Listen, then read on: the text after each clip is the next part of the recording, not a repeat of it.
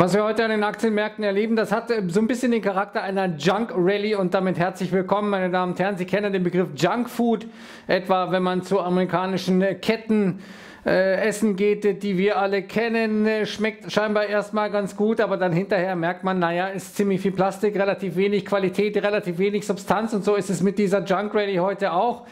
Äh, die hatte mehrere Gründe. Wir haben zunächst mal ja dieses äh, politische Aufatmen so ein bisschen Brexit, da haben sich die EU und äh, äh, May relativ schnell geeinigt. Dann haben wir moderatere Töne, deutlich moderatere Töne aus Rom. Da überlegt man, das Defizitziel ein bisschen zu senken. Das hat italienische Aktien nach oben gebracht, die Renditen für italienische Staatsanleihen nach unten gebracht. Dann steigt der Ölpreis. Der steigt auch, weil die Aktienmärkte steigen. Das ist gut für die Aktienmärkte, wenn der Ölpreis steigt. Werde ich gleich mal in einer Grafik zeigen. Oder machen wir doch gleich mal jetzt, damit das mal klar wird vielleicht. Denn wir haben hier einen relativ klaren Zusammenhang erstmal zwischen Inflationserwartungen. Hier sehen wir den äh, Ölpreis und hier die ähm, 10-Year und 5-Year Break-Even äh, Break Inflation Rate. Das heißt, die Inflationserwartungen sind sehr stark an den Ölpreis gekoppelt und am Ölpreis, da hängen auch viele Jobs. Denn ähm, wenn äh, der Ölpreis tief ist, dann wird weniger investiert, dann werden, werden weniger Jobs geschaffen etc. Und wir sehen hier doch einen ziemlichen Zusammenhang zwischen dem Ölpreis blau hier und ähm, etwa Konjunktur, zentralen Konjunkturaspekten wie Zinssatz, äh, Verbraucherpreise und BIP hier in den USA. Das ist hier die orangene äh, Grafik und wir sehen, wenn hier ein Trendbruch passiert beim Ölpreis, äh, dann hat das früher oder später eben auch Auswirkungen sozusagen auf die Realwirtschaft. Also da dürfte einiges kommen. Jedenfalls ist das ein Punkt, der die Aktienmärkte auch freut. Dann haben wir einen anständigen, sagen wir mal so, ähm, Black Friday gehabt, äh, vor allem im Online-Bereich, der Retail-Bereich, also der stationäre Bereich, der war nicht so richtig toll, aber sei es drum, es ist eine Steigerung von gute 20 Prozent zum Vorjahresmonat. Das fand man auch toll. Und naja, man war vor allem, und das ist der vielleicht entscheidende Grund, man war vor allem überverkauft, kann ich hier auch nochmal zeigen. Ich hatte heute Morgen schon äh, diese Grafik äh, von Northern Trader gezeigt, wo wir sehen, dass der Nasdaq so überverkauft ist im übergeordneten Bild, nämlich im Monatscharts, wie äh, seit dem Jahr 2001 nicht mehr überverkaufter als im Jahr 2009. Und wir haben auf der anderen Seite eben dann den Fear and Greed Index, diesen von CNN herausgegebenen Index, der zeigt, wie stark die Furcht oder die Gier im Markt ist. Und da haben wir einfach eine Bodenbildung jetzt wohl, die sich hier abzeichnet. Dementsprechend ist diese Rallye jetzt nicht direkt aus dem Nichts gekommen, aber wie gesagt, sie ist äh, ohne Volumen.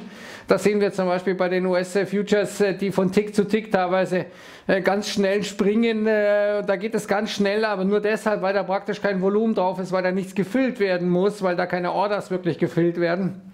Und dementsprechend ist das schon ziemlicher Junk, den wir da erleben. Schauen wir uns diesen Junk in den Charts mal an und starten äh, mit dem deutschen Leitindex. 11.360 fing gut an, gleich mit dem Gap nach oben. Japanische Aktienmärkte stark. Äh, da hat man so ein bisschen die Schwäche vom äh, Black Friday, vom letzten Freitag beiseite gewischt, der ja der schlechteste war an der Wall Street seit dem Jahr 2010. Jedenfalls sind wir dann auch raus.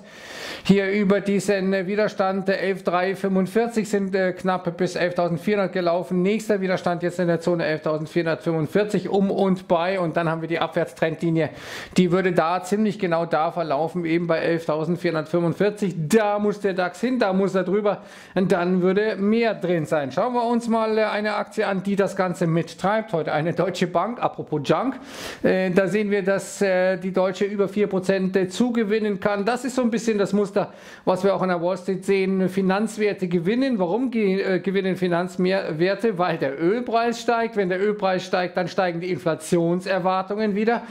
Das wiederum ist gut für die Banken. Wir sehen deswegen an der Wall Street etwa JP Morgan, Goldman Sachs äh, unter den besten Aktien. Äh, hier beim DAX äh, ist es äh, die deutsche äh, Junk, nee, Bank, sorry. Äh, wir haben, apropos Junk, dann auch den MIP 40, den italienischen Leitindex, der heute deutlich zugewinnen kann. Italienischer Bankenindex über 5% im Plus heute stärkster Zugewinn seit Juni, weil eben Salvini, Di Maio, wie sie alle heißen, ihre Töne deutlich gemäßigt haben, gesagt, ja, wir gucken mal, ob wir das Defizitziel in 2019 doch senken können. Die EU ist happy darüber und sagt, ja, ganz toll, äh, liebe Italiener, das freut uns gar sehr. Wir sehen dann beim äh, S&P 500, dass wir ziemlich genau in diesen Widerstandsbereich gelaufen sind, hier äh, bei 2670 Punkten. Da kommen wir erstmal nicht drüber. Wenn wir drüber kommen, dann wäre dann wieder Luft sozusagen bis in den Bereich 2748, 2750 als nächste ganz, ganz große Widerstandszone. Schauen wir uns äh, Dow Jones an. Ganz ähnliches Muster hier auch im Widerstandsbereich jetzt. Ähm, da haben wir noch mal ein bisschen was äh, vor der Brust, dann ein paar Pünktchen höher, aber dann die zentrale Wider Widerstandsmarke dann etwa im Bereich 25.100 Punkte. Der Nasdaq, der ist über diesen Widerstand schon heraus, äh, über den nächstliegenden Widerstand ist allerdings auch noch stärker äh, verprügelt worden in letzter Zeit. Äh, Amazon etc. werden wir gleich sehen äh, als Kurstreiber. Wir sehen den Euro-Dollar, der jetzt ein bisschen zurückkommt und der hier so eine Trompetenformation bildet. Das deutet darauf hin, äh, dass wir hier bald einen Ausbruch sehen, einen impulsiven Ausbruch in die eine oder andere Richtung. Und das ist auch noch ein Rallye-Grund heute, dass die Märkte sich sagen, guckst du, der Jerome Paul, der wird natürlich sehen, dass die Ölpreise gefallen sind. Dementsprechend wird er vielleicht ein bisschen dorfischer agieren, wird den Märkten so ein bisschen die Angst nehmen äh, vor zu starken Zinsanhebungen. Äh, naja, ob dieses Argument valide ist, ich zweifle daran, aber Jedenfalls wird es gespielt. Wir sehen Dollar Yuan 6,93 wenig verändert, sehen, dass der Goldpreis ein bisschen nach unten kommt, 1223, ähm, äh, Silber bei 14 Dollar und 28 und dann Öl eben einer der Treiber jetzt knapp über der 52er Marke und das obwohl Saudi-Arabien richtig Öl gepumpt hat, über 11 Millionen Barrel wohl nach neuesten Daten. Äh, die Amerikaner geben richtig Gas in der Shale-Produktion, also sehr, sehr viel Angebot auf dem Markt, stört, stört den Ölpreis nicht, der jetzt gerade wieder unter die 52er Marke fällt. Und wenn wir uns mal den Vergleich zwischen Öl, schwarzer Chart und S&P 500, orangener Chart ansehen, dann sehen wir auch hier einen Zusammenhang. Steigender Ölpreis tendenziell gut für den S&P 500, also für die US-Aktienmärkte fallen der Ölpreis tendenziell schlecht. Äh, für den Aktienmarkt, das gilt auch und vor allem für Junkbonds, äh, denn hm, circa jedes äh, siebte Unternehmen, das zu den Junkbonds oder das Anleihen emittiert hat, die Junkbonds sind, also minder bonitäre Bonds, um es mal so zu sagen, stammt aus dem Ölsektor. Dementsprechend ist das immer ein wichtiger Parameter hier. Äh, wir haben heute zum Beispiel aktienseitig eine Apple, die nicht richtig aus dem Quark kommt. Ja, sie steigt, aber sie steigt eben nicht so stark äh, wie etwa eine Amazon, die viel deutlicher zulegen kann, etwa 3%. Na klar, man profitiert, äh, so ist die Überlegung des Marktes, besonders stark von ähm, den starken Online-Umsätzen. Heute ja Cyber Monday, da werden über 7 Milliarden Dollar umgesetzt, so die Erwartung. Wir haben auch noch eine Tech-Aktie im weitesten Sinne, das ist Tesla kann auch zulegen und das, obwohl Elon Musk in einem Axios-Interview am Sonntag gesagt hat, dass Tesla kurz vor der Pleite stand, weil man wahnsinnig viel Geld verbrannt hat, um die äh, Model 3-Produktion nach oben zu bringen. Würde mich ja beruhigen als äh, Investor oder als äh, Aktieninhaber, wenn mir der Chef eines Unternehmens, das fast 50 Milliarden Euro Marktkapitalisierung hat, sagt, ja, wir standen kurz vor der Pleite, dann würde ich mir Gedanken machen, ob vielleicht mein Investment doch vielleicht irgendwie gefährlich ist oder gefährdet ist, aber nein, man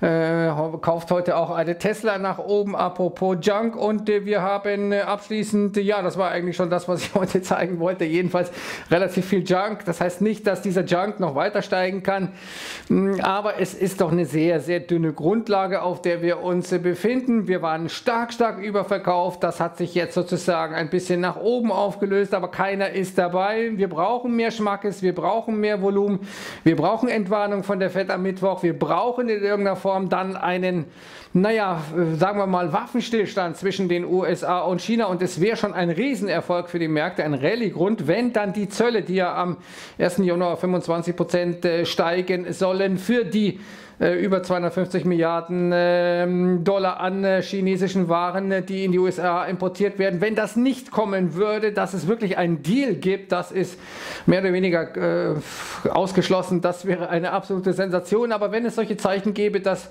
äh, Trump sagt, wir werden am 1. Januar erstmal die Zölle nicht auf 25 Prozent anheben, dann wäre das ein Rallye-Grund. Also es gibt schon Hoffnung für die Bullen.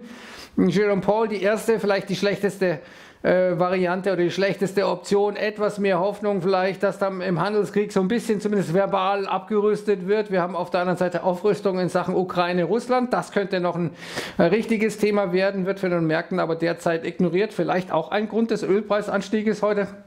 Dementsprechend äh, ist nicht alles verloren für die Bullen. Man hat jetzt einen Doppelboden, man hat die Voraussetzungen, jetzt noch weiter zu steigen, aber man braucht mehr Schmackes, man braucht mehr Volumen, sonst äh, bleibt das Junk, sonst äh, bleibt das ein McDonalds-Erlebnis sozusagen, kulinarisch kurzfristig äh, ganz nett, aber ernährungstechnisch mittelfristig ziemlich, äh, naja, mau kann man sagen. Ihnen wünsche ich jetzt erstmal einen wunderbaren Feierabend. Bis dann, ciao.